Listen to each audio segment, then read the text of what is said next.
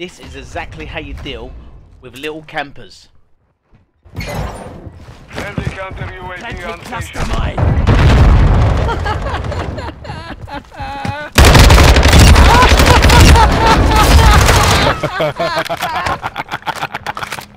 Ha